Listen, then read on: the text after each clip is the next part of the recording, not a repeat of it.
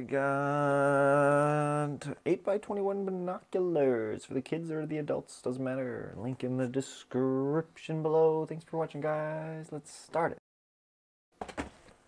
Oh, yeah, that was a good spin right there. Comes with a nice little carrying case. You know, not much else you need for binoculars. And it comes on a string. Let's see what one does. Nothing.